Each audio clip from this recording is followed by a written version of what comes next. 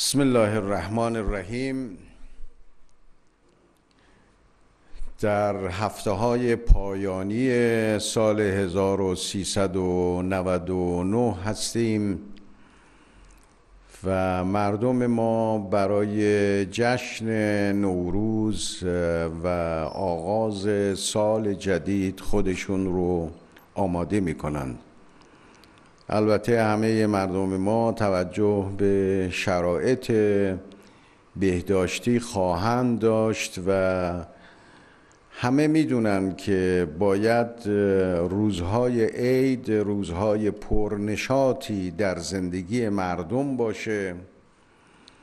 اما در این حال خدای ناکرده عواقب اون به ای نباشه که در روزهای بعد ما مواجه به شیوع این ویروس در کشور باشیم. خب در این ایام بسیار مهم اولین وظیفه دولت اینه که در پایان سال همه طرحهایی که امسال قابل افتتاح هست اونها رو افتتاح کنه که مردم از آثار و ثمرات اون در همین روزهای پایانی و مخصوصا سال آینده که سال پایانی دولت دوازدهم هست مردم آثار این فعالیت ها رو به خوبی ببینند و برای اونها ملموس باشه. ما روز دوشنبه افتتاح بسیار مهمی داشتیم در این سال سخت در این شرایط بسیار سختی که داشتیم. اینکه دولت قادر در یک روز دو میلیارد و ششصد میلیون تر رو به افتتاح برسانه و طرحهایی که به حقوق مردم هم بستگی داره. شما می‌دونید چاه های مشترک میدان های مشترک منابع مشترک به گونه است که اگر همسایگان ما برداشت کنند و ما استفاده نکنیم خب اون منبع خالی میشه. به هر حال ما اگر از سهممون بهره برداری نکنیم زمان میگذره و سهم از دست ما میره. خب هم همسایگان ما حق دارند از حقشون استفاده کنند هم ما حق داریم از حقمون استفاده بکنیم. به همین دلیل هم من تاکید می‌کنم هر آنچه دولت یازدهم و دوازدهم بر او تأکید می‌کنه از مسائل سیاسی از مسائل اقتصادی و داخلی یک نگاهش به رفاه و زندگی مردم و توسعه تولیده و یک نگاهش احقاق حقوق مردم هست که حق مردم از دست نره. مردم حقوقی دارند. مردم تجارت با دنیا حق اونهاست. این که ما اقتصاد ما برونگرا باشه دستور مقام معظم رهبری است. اقتصاد مقاومتی یکی از پایه‌هاش برونگرایی هست. در اونجا باشه در درون کار کنیم در درون تولید کنیم. بعد محصول رو بتونیم صادر کنیم. اگر یه قلدری بیاد جلو راه مردم رو بگیره برای صادرات کالا یا حتی کالا رو بذاره صادر بشه نظر ما به ازایش و پولش برگرده این به معنای انزواست این به معنای اینه که حق مردم از بین رفته. اینکه دولت یازدهم و دوازدهم برای ایجاد برجام و برای حفظ برجام. دولت یازدهم دولت موجده بود. این توافق مهم رو به وجود آورد. دولت دوازدهم دولت مبغیه بود. این توافق رو حفظ کرد. حالا در یه جای دیگری باید این بحث ها باز بشه که چه اقدامات عظیم و بزرگی انجام گرفته با هدایت مقام معظم رهبری و حمایت مردم و حضور مردم باید برای مردم کاملا آشکار باشه. خب تحریم باید برداشته بشه این حق مردمه. اگر یک ساعت ما در برداشتن تحریم تعلل کنیم امروز و فردا کنیم تصویف را پیش پای خودمون بگذاریم. صوفه و لعله رو جلو پای خودمون بگذاریم. حقوق مردم رو پامال کردیم. این که میگن حقوق عامه این حقوق عامه اینه. مهمترین حقوق عامه این هست. حق همه مردم هست. تحریم از دوششون برداشته بشه. آزاد بشن. فشار از مردم برداشته بشه این حقوق عامه است. همه باید تلاش کنیم. البته دولت وظیفهشه. وظیفه دولت هست و باز من تاکید می‌کنم. قانون اساسی به سراحت میگه جز در مواردی که به سراحت اجرا به مقام معظم رهبری واگذار شده است جز اون موارد تمام اجرا به عهده دولت. هیچ کس دیگر حق نداره در اجرا مداخله کنه. و خب این دولت یک وظیفه سنگینی داره باید وظیفه سنگین رو به خوبی انجام بده و ما همه تلاشمون رو به کار می‌گیریم. البته در شرایط فعلی دولت جدید آمریکا لحنش یک مقدار تغییر کرده. به بعضی از مسائل اعتراف کرده اعتراف کرده که کار دولت قبل غلط و اشتباه بوده. حتی یه اقدام عملی هم کرده نامه غلطی که دولت قبل به سازمان ملل فرستاده بود پس گرفته. تا این حدم از این کارا کرد. اما در زمینه تحریم که مسئله اصلی ما هست برداشتن تحریم و به سراحت حق مردم رو شناختن این ما هنوز ندیدیم یک قدم جدی از طرف دولت آمریکا برداشته بشه. به نظر من این امر برداشتن تحریم و اجرای کامل برجام هم خیلی آسانه هم خیلی مشکله.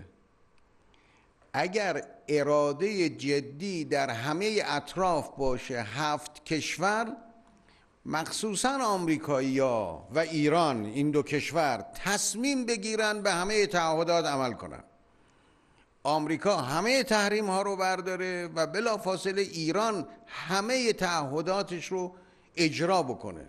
خب این خیلی آسانه در یه روز میشه انجام بگیره. در دو روز می‌تونه انجام بگیره. یک اراده جدی باشه در همین هفته میشه تمام کرد. اما اگه اراده جدی نباشه یا اینکه همون وسواس خناسی که به جان ترامپ افتاد و منحرفش کرد و بی آبروش کرد و نابودش کرد در صحنه سیاسی چون هر چه رفت سازمان ملل راجب ایران و برجام شکست خورد. هر چه رفت. یک مورد پیروزی نداشت بیچاره. کی او رو انداخت به این دام؟ صهیونیستا اون به ظاهر شعار می‌داد آمریکا اول. اما در مقام واقع صهیونیزم اول افراتیگری دوم نجات پرستی سوم آمریکا چهارم.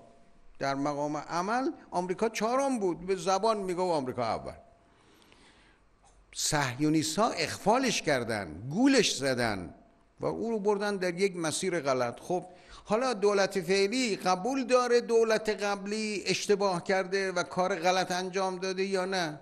اگه قبول داره هم باید واضحتر و سریحتر بگه اشتباه کرده و هم هم سریحتر باید عمل کنه به تعهد و حتی جبران بکنه. دو, دو تا چهار تا خیلی روشنه. حالا دیگران هم اگه اروپایی هم با ما صحبت می‌کنن زنگ می‌زنن تلفن می‌کنن با ما بحث می‌کنن ما بحث ما با اونا هم همینه که میگن برجام ما باید حفظ کنیم. خب خب. اگر با لفاظی ما با صدای بلندتر میگیم. برجام باید حفظ کنیم. خب با صدا و سخنرانی و شعار که حل نمیشه. آمریکایی هم الان شعار میدن. میگن ما می‌خوایم به برجام برگردیم. می‌خوایم همه به تعهد. ولی لفظ کاف... کافی نیست. ما باید در مقام عمل وارد شیم.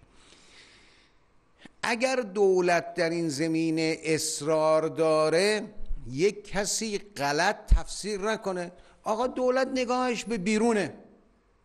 بیرون و درون یعنی چی؟ حق ما رو اونا خوردن. خب بر نگاه ما به بیرونه که حقمون رو بگیریم.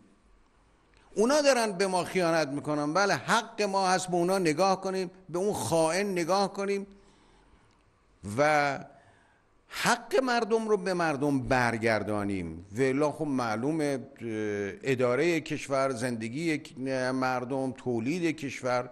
بله دست مردم داخل هست. در اونجاست اقتصاد ما. کاملا درسته. خب ما در مسئله افتتاح پنجشنبه یک مسئله مهم حق مردم بود. ما یه چاهی که میدان مشترک بود. یه میدان مشترکی که اول این دولت تولید ما از این میدان صفر بود. هیچ. یه بشکه هم نفت بر خب میدان مشترک اونور عراق اینور ایرانه.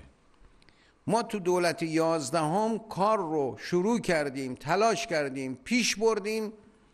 سی هزار بشکه در آخر 95 و اوایل 96 افتتاح کردیم سی هزار بشکه از این میدان برداشت کردیم روزانه. در این افتتاح دوم به جای سی هزار شده 65 هزار بشکه. یعنی این میدانی که صفر ما ازش هیچ استفاده نمی کردیم این دولت 65 هزار بشکه نفت داره الان استفاده می‌کنه روزانه. این جنبه اقتصادی سر جای خودشه اشتغال سر جای خودشه. اما از اون طرف حق مردم هم مسئله مهمی هست. ما حقوق مردم رو داریم. هم باز می ستانیم هم حفظ می‌کنیم و نگهداری می‌کنیم.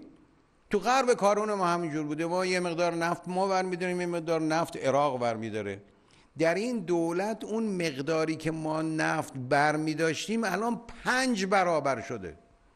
حق مردمه. من بازم تاکید می‌کنم بعضیا فقط به کلمه برجام میچسبن. البته برجام یکی از مهمترین توافقهای سیاسی تاریخ ایرانه. من باز هم تاکید می‌کنم تو برجام ما کار بزرگی انجام دادیم. امروز انرژی اتمی ما داره تولید می‌کنه هیچ کم نمی‌تونه بگه خلاف قانونه. اون روز تولید می‌کرد قطنامه های سازمان ملل بالا سر ما بود به ظاهر. حالا به خاطر مقرراتی که سازمان ملله این کار ما رو نامشروع می‌دونستن. ما اقدام ایران رو مشروع کردیم. اقدامی که هزینه آور بود برا ما. اون وقت هر روز که اقدام می‌کردیم یه هزینه داشت. او هزینه رو برداشتیم. امروز اقدام میشه بدون هزینه. خب تو این روزام کامل معلوم شد اونایی که می‌گفتن صنعت هسته ای از بین رفت فلان حالا دیدن. وقتی ما اراده بکنیم در عرض یک هفته در تمام تولیداتمون چه کار می‌کنیم؟ چه تولید سانتریفیوژ های مدرن چه تولید موادی که مورد نیاز ما هست. حالا ممکنه 20 درصد باشه ممکنه بیشتر باشه کمتر باشه هر که مورد نیاز ما هست. این که از روز اول ما به مردم عهد کردیم سانتریفیوژ میچرخه چرخ اقتصاد میچرخه. این را ما عمل کردیم. هر روز عمل کردیم و تا امروز عمل کردیم. امروز اقتصاد ما بهتر میچرخه. امروز شما می‌بینید هر هفته ده ها هزار میلیارد تومان در سراسر کشور طرح و پروژه داره افتتاح میشه. فقط افتتاح دوشنبه ما یه چیزی حدود هفتاد و هشت هزار میلیارد تومان بود. یه چیزی بالاتر از این هم شروع کردیم عملیات اجراییش رو. خب این رقمی که ما هر روز هر هفته داریم پس اقتصاد ما بهتر داره حرکت می‌کنه. حالا اونم در شرایط جنگ اقتصادی. حالا اگه جنگ اقتصادی نبود اون وقت می‌دیدن چه خبر هست. یعنی چی شده بود کشور؟ از اون ورم سانتریفیوژ ما بهتر میچرخه. اومد یه آیاروان بود اون کنار میچرخید. امروز آیار تو ام هم داره میچرخه آیار چهار هم میچرخه آیار شیش هم میچرخه آیار هشت هم میچرخه آیار ناین هم میچرخه. خب پس بنابراین هم هر دو کار یعنی میشه هم در صنعت هستی که برای ما مهمه رشد بیشتر داشته باشیم و هم این صنعت رو مشروع کنیم. مشروع بود. البته میگم به خاطر ادعای اونها و در سازمان ملل ما این مسائل برداشتیم از بالا سر خودمون. این تولید رو بی هزینه کردیم و باز هم ادامه میدیم. من این نکته رو به برخی از سران اروپا هم گفتم اینجا هم باز تکرار می‌کنم. چهار به اضافه یک امروز یک وظیفه سنگینی بر دوش داره. باید بدونه سه سال ما در جنگ اقتصادی ایستادیم. این ما هستیم که برجام رو در این مدت حفظ کردیم. ما حافظ برجامیم. ما ایجاد کننده برجامیم. ما حافظ برجام هستیم. و ما نبودیم که برجام از من رفته بود. حالا که برجام ما حفظ کردیم حالا که اونا تحریم نابجای غلط غیر قانونی علیه ما اعمال کردن بیان متوقف کنن. تحریم متوقف کنید شما قانون رو اجرا کنید. اگر روز اول اجرا کردید قانون رو تحریم برداشتید روز بعد دیدید ما به همه تعهدات عمل نمی کنیم حق با شماست. و من به دنیا بگید ایران به تعهداتش عمل نمی پس ما آمادگی داریم. اصلا برای ما احقاق حقوق ملت ایران. حالا این احقاق حقوق مردم در تمام زمینه ها ما باید گسترش بدیم. ما الان این هفته خب هفته است که درختکاری هفته درختکاری شروع میشه یعنی بخش کشاورزی. حالا درختکاری یک عنوانه حفظ درخت ایجاد درخت غرس نهال اینا همه یک ظاهره. باطنش اینه که کشور رو سرسبز کنیم. اون هم قبل از اینکه عید نوروز برسه ما به پیشواز عید نوروز بریم. و هوای مردم رو هوایی که تنفس می‌کنن مردمی هوا رو سالمتر بکنیم.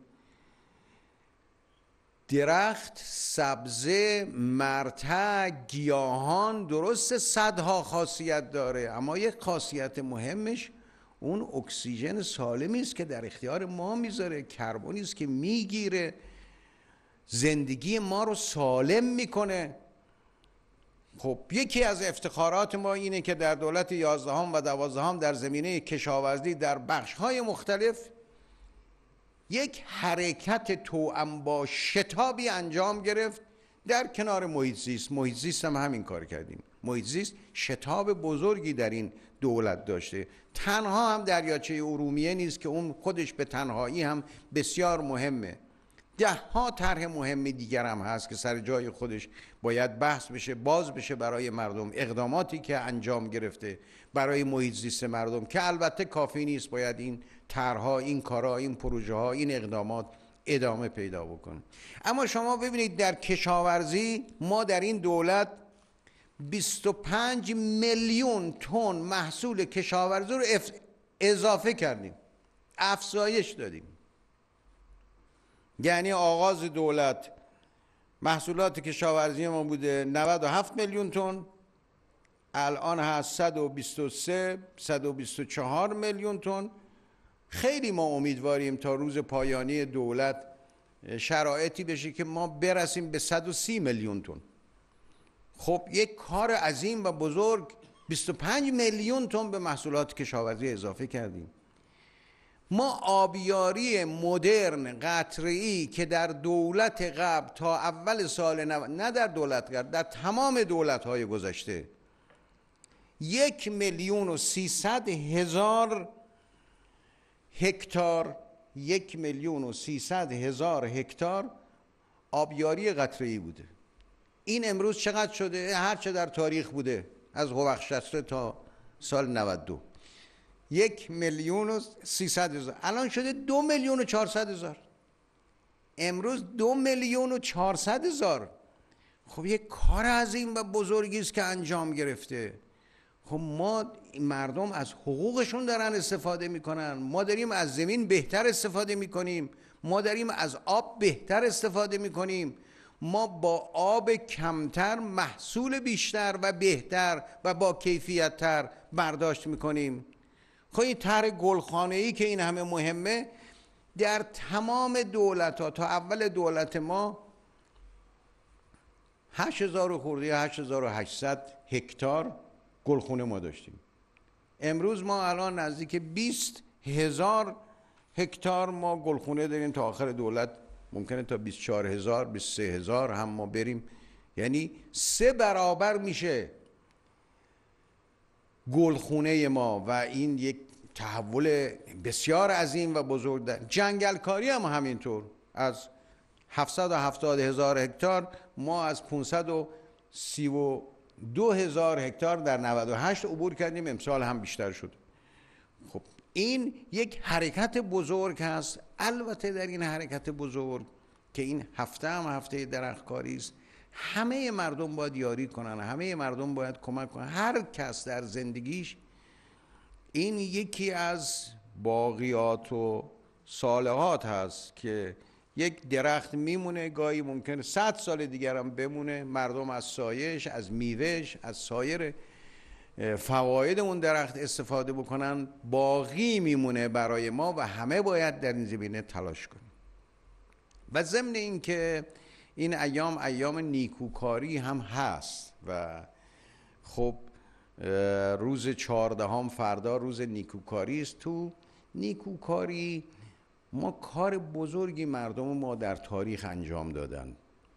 همیشه همدیگر رو یاری کردن همدیگر رو کمک کردن. البته یک مظاهری هم هست ظاهرش ممکنه بعضی ها فکر می‌کنن این مثلا احسان و نیکوکاری است اونو باید باش مبارزه کنیم. تکدیگری تو خیابون کسی اگر به اونا کمک کنه اشتباه کرده. این احسان نیست نیکوکاری نیست. اینا رو باید جمع کنیم. البته خیلی کم شده اما در این حال که از وظایف ما اینه که اینا رو جمع بکنیم و تمام بکنیم. ولی نیکوکاری به مردم کمک به مردم مخصوصا در دوره کرونا شما دیدید چه همکاری و مساعدت و مواساتی بین مردم و همه اخشار مختلف همه خیرین انجام گرفت. و دولت هم در این زمینه خب سازمان های خیر آغاز این دولت 4300 تشکل بودن که خیر بودن. امروز 4300 شده 9800 یعنی در این دولت 5500 تشکل خیریه‌ای جدید تشکیل شده. البته سمنهای بسیار زیادی تشکیل شده در این دولت. 22 هزار سمن تشکیل شده حالا در بخش های مختلف. یکیش هم محیط زیست البته یه بخش بزرگی مال محیط زیسته. بخش های دیگه هست. تو این ایام سلامت هم که مسئله سلامت برای ما مهمه اونا در این زمینه هم تلاش کردن.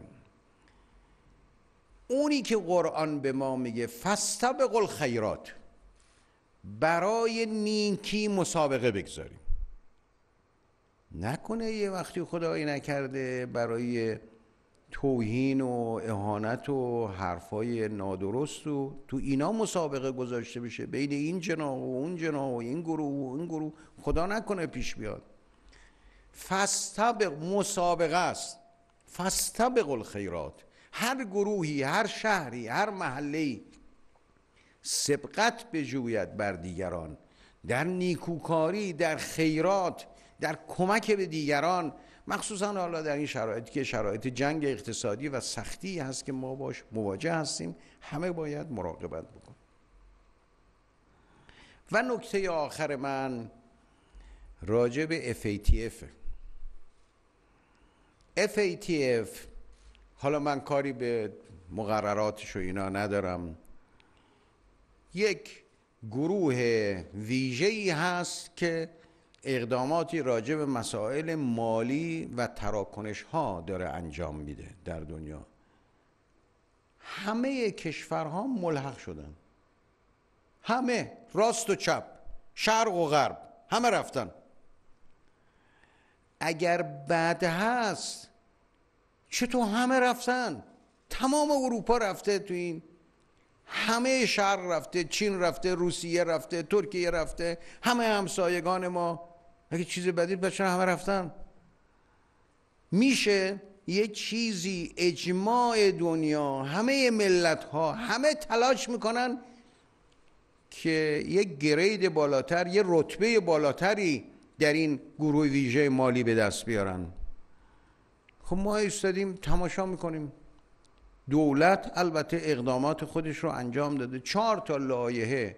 لازم بوده در این زمینه بیاره تصویب کنه به مجلس بفرسته. این کار انجام گرفته. کار دولت انجام شده کار مجلس انجام شده. حتی شورای نگهبانم اقداماتی که لازم بوده انجام داده. حالا دو چهار دو تا از اینا تمام شده ابلاغ شده تمام شده. دو تا از اینا که لوایحی است که در واقع ما ملحق میشیم به کنوانسیون در دو مورد. یکی جرائم سازمان یافته است و یکی تامین ما مقابله با تامین مالی با تروریسم هست. در این دو مورد حالا یه اشکالاتی بوده. رفته مجمع. خیلی مهمه برای مردم زندگی مردم. همه باید واضح با مردم صحبت کنن. ما باید بدونیم وقتی عدد ریسک کشور میره بالا از 6 میره هفت به خاطر همین. یعنی مردم از جیبشون باید پولی بیشتر بدن. وقتی این لوایح اجرا نمیشه یعنی برای نقل و انتقال پول باید پول بیشتر مردم بدن. پول داریم روزانه پرداخت می‌کنیم. باید بدونیم تمام کشورهایی که با ما امروز دوست ما هستند با ما کار می‌کنن حتی کار بانکی تا یه حد محدودی دارن انجام میدن به ما توصیه می‌کنن. میگن اگر شما ملحق نشید بعد ارتباط بانکی ما قطع میشه. یعنی ما می‌خوایم برگردیم به قرن پیش بانکا رو ببندیم بریم با همین دکون صرافی ها کار بکنیم. کار عظیم و بزرگیه اینا که شوخی نداره اینا حقوق ملته. اینا زندگی مردمه. اینا با جیب تک تک آدما سر و کار داره. یعنی هر کس به جیب خودش نگاه کنه می‌بینه FATF هست یا نیست. بله.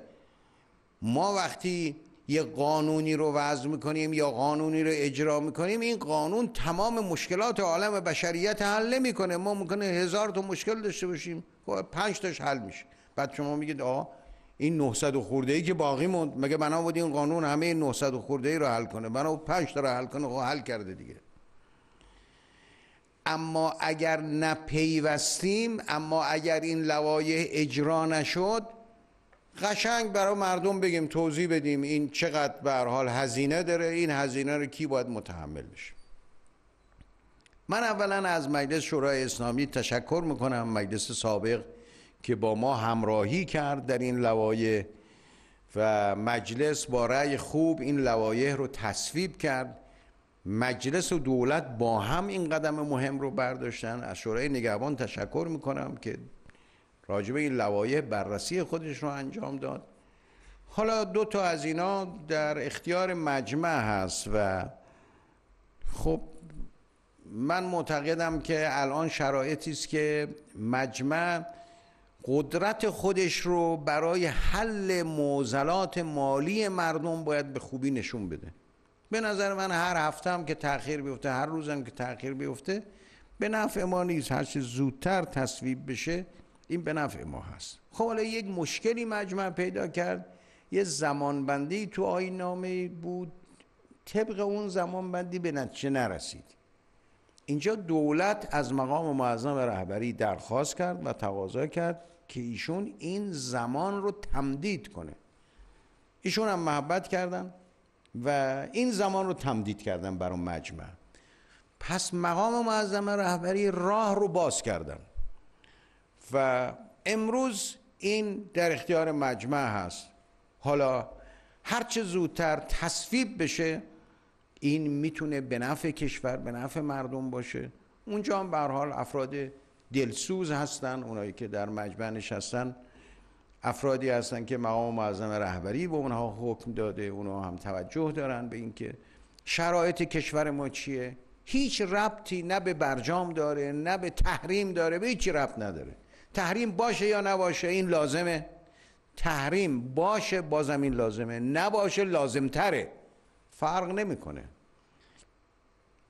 برجام باشه این لازمه برجام نباشه این لازمه. این هر کدام کار خودشون انجام میدن. مثل که شما بگی آه این پنجره رو من بهش کاری ندارم. چون اون یکی پنجره بسته نشده. خب اینم باز کنی اونم باز کنی. دو برابر میشه هوایی که وارد میشه. یکی رو ببنده میشه نصف. ربطی به هم نداره. ما در هر بخشی باید کار خودمون رو انجام بدیم. تلاش خودمون رو انجام بدیم.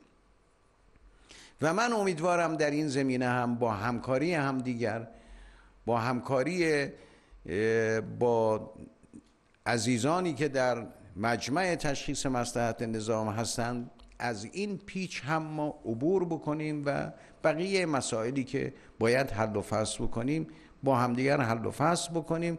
مجلس شورای اسلامی هم انشاءالله این لایحه بودجه ما رو در چارچوب قانون اساسی زودتر به تصویب نهایی برسونه. شورای محترم نگهبان هم نظر بده که ما بتونیم از آغاز سال آینده انشاءالله این لایحه بودجه رو اجرا بکنیم و مردم هم تکالیف خودشون رو در بخش اقتصادی بهتر بدونن. و السلام علیکم و رحمت الله و برکاته.